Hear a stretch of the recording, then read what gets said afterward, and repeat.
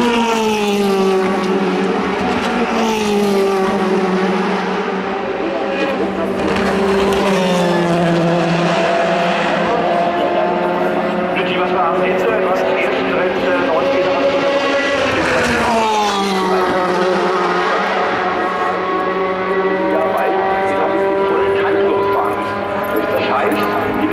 Auch des Gummi der Anfangsphase bei knallvollen Fahrten natürlich anders. Und die Autos werden mit leerer werdenden Fahrt A greifen schon, man kann aggressiver